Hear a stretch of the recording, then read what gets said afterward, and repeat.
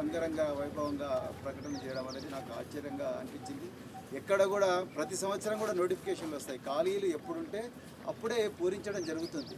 అంతే తప్ప ఖాళీలన్నీ కూడా చివరికి తీసుకొచ్చి ఎలక్షన్ల ముందరనే పెట్టడం అంటే ఈ ప్రభుత్వం మరి ముఖ్యంగా ముఖ్యమంత్రి గారు కేవలం ఎలక్షన్ల ముఖ్యమంత్రి అంటే సాగర్ ఎలక్షన్ల ముందు ఒక నోటిఫికేషన్ ఈ రోజే ఉద్యోగాలు తీపి కబురు అని ఇంకోసారి దుబాక్ ఎలక్షన్ల ముందు ఇంకొకసారి నిరుద్యోగుల నోటిఫికేషన్ అని అదేవిధంగా హుజీరాబాద్ ఎలక్షన్ల ముందు ఇంకొక నోటిఫికేషన్ అని లేకపోతే ఈ బంధు స్కీమ్ అని ఆ బంధు స్కీమ్ అని రకరకాల స్కీములు కానీ నోటిఫికేషన్లు కానీ ప్రజలను మభ్యపెట్టే ప్రకటనలు కానీ ఇవన్నీ కూడా ఎలక్షన్ల ముందరనే జరుగుతున్నాయంటే తెలంగాణ రాష్ట్ర సమితి ప్రభుత్వం మరి ముఖ్యంగా ముఖ్యమంత్రి కేసీఆర్ గారు కేవలం ఎలక్షన్ల కోసమే మరి ఇక్కడ మా ప్రగతి భవన్లో కూర్చున్నట్టుగా మాకందరికీ అనిపిస్తున్నది.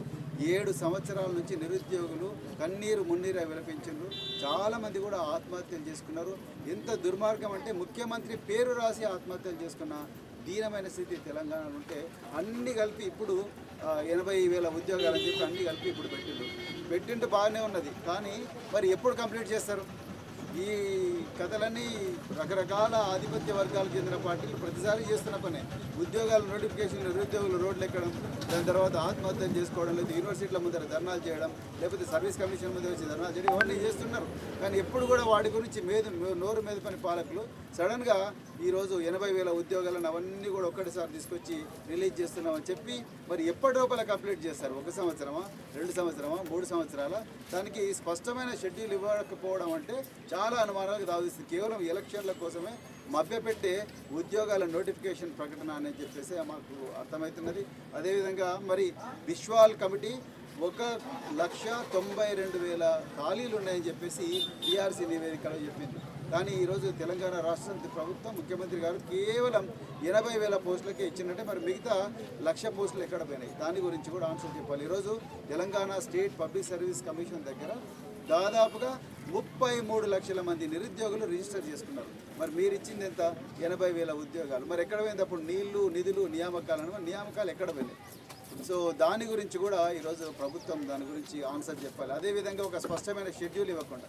మూడవది ఉపా విద్యార్థులు ఈ క్యాండిడేట్స్ వీళ్ళందరూ కూడా కాళ్ళపు ఈ చెప్పులు అరిగేలా తిరిగి తిరిగి అలసిపోయినారు. వాళ్ళు ఏమాత్రం ప్రిపేర్ కాలేదు. వాళ్ళకు స్టడీ సర్కిల్స్ పెట్టలేదు. వాళ్ళకు సిలబస్ చెప్పలేదు. తర్వాత SC ST BC minority study circle అన్నీ కూడా మూతపడ్డాయి. ఎక్కడ కూడా పాఠాలు జరగడం లేదు. మరి ఏ విధంగా విద్యార్థులు ప్రిపేర్ అవుతారు? సో దాని గురించి కూడా ప్రభుత్వం స్పష్టత ఇవ్వాల్సిన అవసరం ఉన్నది. సో ఇలాగా ప్రతి చోట ఇదే విధంగా మన రైతు బంధు స్కీమ్ కూడా అట్లే దళిత బంధు స్కీమ్ కూడా అట్లే చేసింది. దళిత బంధు స్కీము పదిహేడు వేల కోట్లు అని చెప్పేసి ఈసారి బడ్జెట్లో చెప్పడం జరిగింది. పదిహేడు వేల కోట్ల గైడ్ లైన్స్ ఏమున్నాయి? మీరు ఎట్లయితే ఈ ఉద్యోగాల ప్రకటనకు ఏమాత్రం షెడ్యూల్ ఇవ్వకుండా డైరెక్ట్ ఈరోజు నోటిఫికేషన్ ఇస్తున్నామని ఎట్లా చెప్తున్నారో అదేవిధంగా దళిత బంధు స్కీమ్ కూడా ఏమాత్రం గైడ్ లైన్ లేని స్కీము దళిత బంధు స్కీమ్. ఈ దళిత బంధు స్కీమ్లో ఎవరిని లబ్ధిదారులు ఎట్లా ఎంపిక చేస్తున్నారు? ఆయన ఏ ఏ ఏ నైపుణ్యం ఉందని ఎంపిక చేస్తున్నారు? వాళ్ళకున్న అర్హతలు ఏంటి వాళ్ళు ఎవరు ఎంపిక చేస్తున్నారు అనే దాని ఏమాత్రం స్పష్టత లేకుండా ఆ గైడ్ లైన్స్ ఎక్కడ కూడా జీవోలలో కనిపించవు. ఆ జీవోలు కనిపించవు. ఎస్సీ డెవలప్మెంట్ డిపార్ట్మెంట్ వెబ్సైట్లు కూడా కనిపించవు. మరి ఆ దళిత బంధు స్కీమ్ డబ్బులు ఎవరి డబ్బులు? ప్రజల డబ్బులు ప్రజల కష్టార్జితం.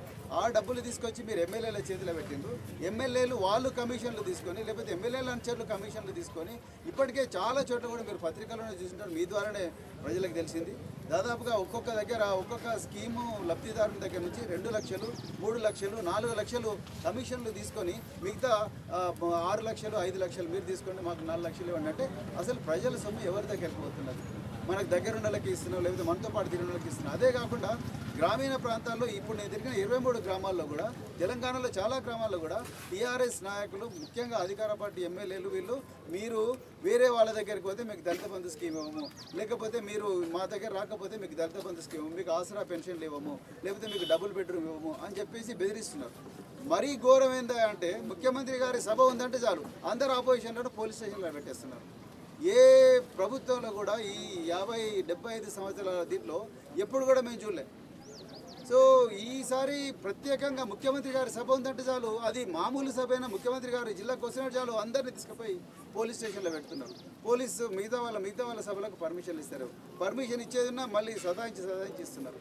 సో అంటే ముఖ్యమంత్రి గారు అందరి గొంతు నొక్కి గొంతు నొక్కి మరి ఆయన రా- రాజకీయం చేయాలనుకుంటాడా లేకపోతే ప్రభుత్వం నడపాలనుకుంటాడా? దాని మీద ముఖ్యమంత్రి గారే స్పష్టత ఇవ్వాల్సిందిగా నేను డిమాండ్ చేస్తున్నా.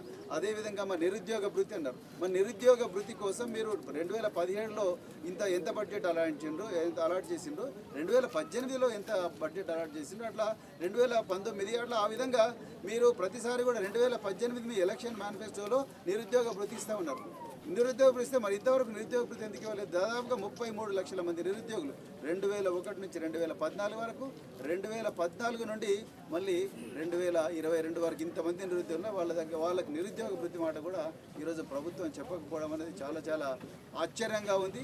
ఇది కేవలం ఎలక్షన్ల కోసమే ప్రజలను మభ్యపెట్టి వాళ్ళు ఓట్లు వేయించుకునే కార్యక్రమం లాగానే నాకు ఇది తప్ప నిరుద్యోగ సమస్యను పూర్తిగా శాశ్వతంగా పరిష్కరించే ప్రయత్నంగా అయితే మాకు బహుజన సమాజ్ పార్టీకి అనిపించడం లేదనేది సందర్భంగా మీకు మనవి చేస్తున్నా. అదేవిధంగా గ్రామీణ ప్రాంతాల్లో తిరుగుతున్నప్పుడు చాలామంది మహిళలకు పెన్షన్లు రాలేదు. చాలామంది దివ్యాంగులు ఉన్నారు వాళ్ళకు పెన్షన్ రావడం లేదు. వాళ్ళ గోడు వినే నాదుడు కూడా లేడు ఎమ్మెల్యే పోవడం లేదు ఎంఆ తహసీల్దార్ పోవడం లేదు లేకపోతే కలెక్టర్లు పోవడం లేదు. ఎవరు కూడా వాళ్ళ మాట వినడం లేదు. వాళ్ళు అప్లై చేసుకున్నారు మూడు సంవత్సరాలైంది నాలుగు సంవత్సరాలైంది. వాళ్ళకి ఇంతవరకు కూడా పెన్షన్లు రాలేదు. అది కూడా చాలా అంటే ప్రభుత్వం ఈ ప్రకటనలు ఇవ్వడానికే సరిపోతుంది తప్ప మరి ఈరోజు కేసీఆర్ గారు తెలంగాణ ముఖ్యమంత్రి వెస్ట్ బెంగాల్లో తర్వాత ప్రతి చోట కూడా మరి ప్రభుత్వ సొమ్ముతోని వీళ్ళు ప్రకటనలు ఇస్తున్నారు. ఈ ప్రకటనలకు ఇచ్చిన డబ్బు కానీ లేకపోతే వీళ్ళు సభలకు పెట్టిన డబ్బులు కానీ జనగామలో సభ పెట్టిన రకరకాల ప్రాంతాల్లో పెద్ద ఎత్తున సభలు పెడుతున్న ఈ సభలకు వచ్చిన సభలకు పెట్టిన ఖర్చు కానీ ఈ ప్రకటనలకు ఇచ్చిన డబ్బులు కానీ వాటితోనైనా ఈ పెన్షన్లు ఇవ్వచ్చు. కానీ అవి కూడా ఇవ్వకుండా వీళ్ళు ప్రజాధనాన్ని దుర్వినియోగం చేస్తారని చెప్పేసి చేస్తున్నారని చెప్పేసి మేము బహుజన సమాజ్ పార్టీ తరఫున తెలుపుతున్నాం అదేవిధంగా పాఠశాలలు అన్నారు. పాఠశాలలు మరి మీరు ఈసారి బడ్జెట్ డాక్యుమెంట్ చూడండి. పాఠశాలల కోసం మీరు ఏడు వేల ఎనిమిది వందల రూపాయలు ఏడు వేల ఎనిమిది వందల కోట్ల రూపాయలు అలాట్ చేసినా ఉన్నారు. ఏ హెడ్ కింద అలాట్ చేసినాం ఎక్కడి నుంచి తీసుకొస్తారు ఈ డబ్బులు? ఏ స్కీమ్ నుంచి తీసుకొస్తారు? దాని మీద ఏమాత్రం స్పష్టం లేదు. అంటే ఇది కేవలం ఒక అంకెల గారడి లాగానే అనిపిస్తున్నది అనేది మాకు క్లియర్గా అర్థమవుతుంది. బడ్జెట్లో నిజంగా మరి మన ఊరు మన బడి అన్నారు. మన ఊరు మన బడి కింద ఏమేమి బడ్జెట్ రేట్ కింద ఏ ఎక్కడి నుంచి డబ్బు తీసుకొస్తున్నది క్లియర్గా మీరు చెప్పలేకపోతున్నారు. అంటే కేవలం ప్రజలు మరి ఏమి విన ఏమి అర్థం చేసుకోలేరు. వాళ్ళు ఇష్టమైనట్టు మనం ఏం చెప్పినా నడుస్తుందనే ఉద్దేశంతో మరి కేసీఆర్ ప్రభుత్వం చేస్తున్నట్టుగా మాకు అనిపిస్తున్నది. మరి అదేవిధంగా ఈ ప్రాంతంలో రైతులకు కూడా చాలా సమస్యలు ఉన్నాయి రైతు బంధు స్కీమ్ మరి ముఖ్యంగా మా దగ్గర మాకు ఇరవై మూడు ప్రాంతాలు ఇరవై మూడు గ్రామాల్లో మాకు కౌలు రైతులు చాలామంది దగ్గరికి వచ్చి మమ్మల్ని అటు కాకుండా ఎటు కాకుండా చేసిండ్రు. అంటే మాకు అటు కాస్తు కాలం తీసేసి అటు ప్రాబ్లం అయింది అదేవిధంగా రైతు బంధు స్కీమ్ మాకు రావడం లేదు అనేది కూడా చాలామంది రైతులు చెప్పడం జరిగింది. మరి మొన్ననే టీఆర్ఎస్ వాళ్ళు యాభై వేల కోట్ల రూపాయల సంబరాలు యాభై వేల కోట్ల రూపాయలు మేము రైతులకు ఇచ్చిన సంబరాలు చేసుకున్నారు. మీరు చూస్తే తెలంగాణలో అరవై లక్షల మంది రైతులు ఉన్నారు. అరవై లక్షల మంది రైతుల్లో ఎవరైతే ఈ ఇరవై ఐదు వే ఇరవై ఐదు ఎకరాల కన్నా ఎక్కువ ఉన్న వాళ్ళ సంఖ్య దాదాపుగా ఐదు లక్షలు. ఐదు లక్షల రైతులకేమో నలభై వేల కోట్లు పోయినాయి. మిగతా యాభై ఐదు లక్షలకేమో పదివేల కోట్లు పోయినాయి. అంటే ఇది భూస్వామ్య బంధ లేకపోతే పేద రైతుల బంధ అనేది ప్రభుత్వమే స్పష్టత ఇవ్వాలని చెప్పేసి నేను ఈ సందర్భంగా మీకు డిమాండ్ చేస్తున్నాను. అదేవిధంగా మరి తాటికొండ విషయానికి వస్తే తాటికొండలో ఒక సోషల్ వెల్ఫేర్ హాస్టల్ కట్టింది. మరొకవైపు దళిత బంధు అంటున్న ముఖ్యమంత్రి. గురుకులాలు దాదాపుగా అన్ని అన్ని కులాలు బీసీలు ఎస్సీలు ఎస్టీలు గురుకులాలు ఆరు వందల గురుకులాలు ఉన్నాయి. అందులో ఏవే వేటికి కూడా సొంత బిల్డింగులు లేవు. సోషల్ వెల్ఫేర్ హాస్టల్ తాటికొండ గ్రామంలో కట్టినప్పుడు దాంట్లో ఎవరు విద్యార్థులు లేవంటే ఏదో కేసు ఉందని చెప్పేసి ఆపేసిందని చెప్తున్నారు. అట్లనే ఆయుర్వేదిక్ హాస్పిటల్ కూడా నడవడం లేదని చెప్తున్నారు. అట్లా చాలా చోట్ల కూడా ప్రజలకు చాలా సమస్యలు ఉన్నాయి. ఆటో డ్రైవర్లకు సమస్యలు ఉన్నాయి. రైతులకు సమస్యలు ఉన్నాయి. వృద్ధ మహిళలకు సమస్యలు ఉన్నాయి. విద్యార్థులకు సమస్యలు ఉన్నాయి. ఇంతమంది ఇక్కడ స్కూల్కి పోవడం జరిగింది. ఈ స్కూల్లో నుంచి ట్రాన్స్ఫర్ చేసిండ్రు. ఐదు మంది ఉపాధ్యాయ వేకెన్సీలు ఉండబోతున్నాయి. మరి గ్రామీణ ప్రాంతాల్లో ఉండే పిల్లలు ఎట్లా చదువుకోవాలి?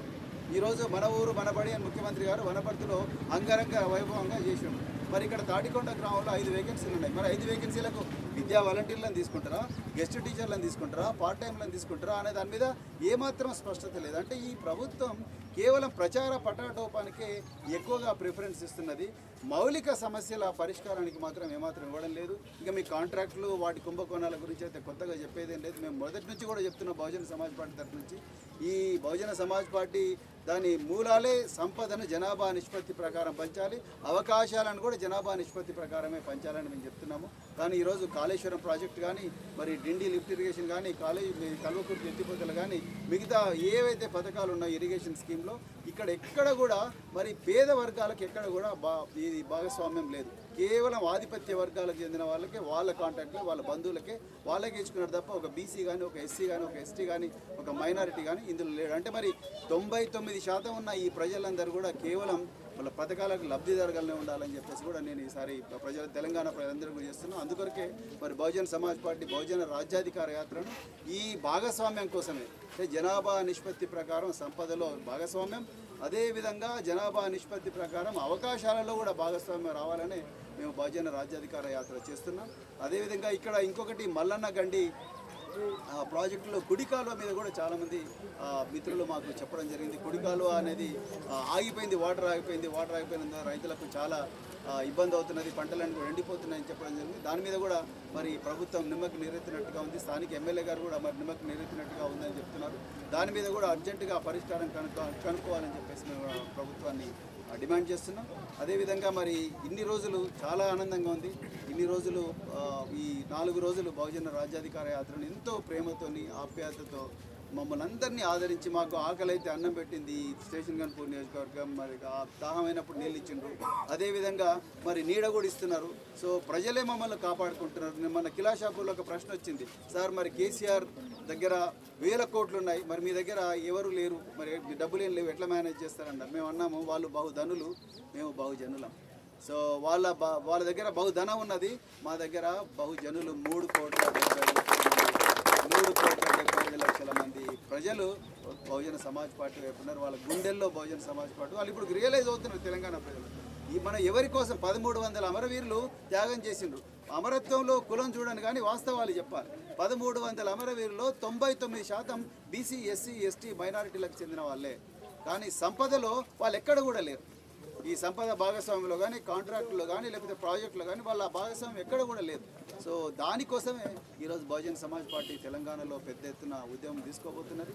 ముఖ్యమంత్రి గారు ఎన్ని డ్రామాలు చేసినా ఎన్ని మభ్యపెట్టే ప్రకటన చేసినా తప్పకుండా ఈసారి బహుజన్ సమాజ్ పార్టీని ప్రజలందరూ కూడా ఆదరిస్తారు. దానికి స్టేషన్ గన్పూర్ ప్రజలు మమ్మల్ని ఆదరించిన విధానమే దీనికి సాక్ష్యం అని చెప్పేసి చెప్తూ మరి రాబోయే ఆ, ఆరు రోజులు కూడా మరియు పాలకుర్తి నియోజకవర్గాల్లోనే ఉంటాము. సో ప్రతి గ్రామం తిరుగుతాము ప్రతి గల్లీ పోతాము ప్రతి తండ పోతాము. ఆ విధంగా తెలంగాణలో ఐదు వేల గ్రామాలు బహుజన సమాజ్ పార్టీ బహుజన సమాజ్ పార్టీని పరిచయం చేయించడానికి వెళ్తామని చెప్తూ మరి మీరు ఇంత ఓపికగా నా బ్రీఫింగ్ విన్నందుకు మీకు మరొకసారి ధన్యవాదాలు దేశంలో ఎక్కడ లేని విధంగా తెలంగాణలో దళితులకు న్యాయం చేస్తున్న ప్రభుత్వం తెలంగాణ ప్రభుత్వం అని శాసనసభలో సుమన్ ప్రకటన చేసిండ్రు. దానిపైన సుమన్ గారి ప్రకటన చూస్తే నాకు ఆయన అమాయకత్వాన్ని చూసి జాలేస్తుంది దేశంలో ఎక్కడ లేని విధంగా దళితులకు దగా జరుగుతున్నది తెలంగాణలో అసలు రాజ్యాంగాన్నే తీసేస్తున్న ముఖ్యమంత్రి దళితులకు ఏం న్యాయం చేస్తాడు?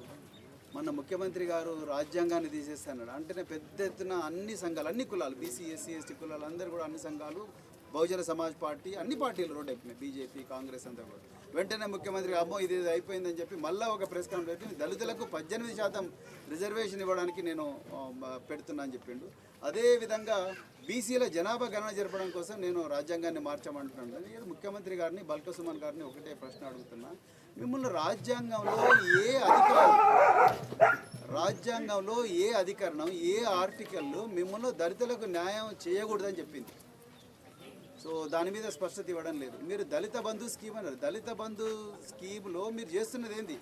దళితులలో ఒక్కరికి ఇచ్చి తొంభై తొమ్మిది మంది ఇవ్వకుండా వాళ్ళిద్దరి మధ్య కొట్లాట పెట్టడం అన్నకి ఇచ్చి తమ్మునికి ఇవ్వకుండా కొట్లాట పెట్టడం వాళ్ళకి ఇవ్వాల్సిన చోట ఇవ్వకుండా ఎక్కడో ఇచ్చి మీ అనుయాయులకు ఇచ్చి మొత్తం కూడా వాళ్ళకే లక్ష కోట్లు ఇచ్చినట్టుగా దేశమంతా ప్రచారం చేయడం మిగతా కులాలన్నీ కూడా వీళ్ళందరినీ ఈసడించుకోవడం ఒక కులానికి ఇచ్చి ఇంకో కులానికి ఇవ్వకపోవడం అట్లా అన్ని కులాలు ఒకరికొకరు కొట్లాడుకునేలా ఒకప్పుడు మత కల్లోలను విన్నాం అనమాట ఇప్పుడు కుల కల్లోలాలు పెట్టిన స్కీములు వీళ్ళు పెడుతున్నారు. సో దళితులకు న్యాయం జరగాలంటే వాళ్ళు అడుగుతున్నారు ఏ దళితులను అడగండి మాకు మంచి నాణ్యమైన విద్య ఇవ్వమని అడుగుతున్నారు. నాణ్యమైన వైద్యం అని అడుగుతున్నారు. మమ్మల్ని విదేశీ విద్యాలయాలకు పంపించండి అని అడుగుతున్నారు. మాకు ఇంటర్నేషనల్ స్థాయి దళితులు ఒక్కరే కాదు. బీసీలు ఎస్సీ బీసీలు ఎస్టీలు మైనారిటీలు అందరూ కూడా అదే అడుగుతున్నారు. వాళ్ళకు డబ్బు ఎక్కడ ఖర్చు పెట్టకుండా పెట్టాలని చెప్పకుండా మీరు డైరెక్ట్గా వాళ్ళకు తీసుకోండి ఐదు లక్షలు. కారు కావాలంటే కారు ట్రాక్టర్ కావాలంటే ట్రాక్టర్ రెండు బర్లు కావాలంటే రెండు బర్లు మూడు బర్లు కావాలంటే మూడు బర్లు ఆ విధంగా ఇవ్వడం వల్ల వాళ్ళకి ఎలాంటి నైపుణ్యాలు లేకుండా వాళ్ళ చేతిలో ఇవన్నీ పెడితే వాళ్ళు పైసలు పే చేసుకుంటారు అదే విధంగా అదే అది కాకుండా చక్కటి విద్య. మేమందరం కూడా ఆఫీసర్లు అయినామంటే విద్యతోనే అయినాం. ఆ విద్య ఇవ్వకుండా తెలంగాణలో కోటి కోటి మంది మహిళలకు చదువు రాదు. కోటి మంది మహిళలకు చదువు రాదంటే మరి చదువు రాని మహిళలు పెట్టుకొని ఎట్లా మేనేజ్ చేస్తారు?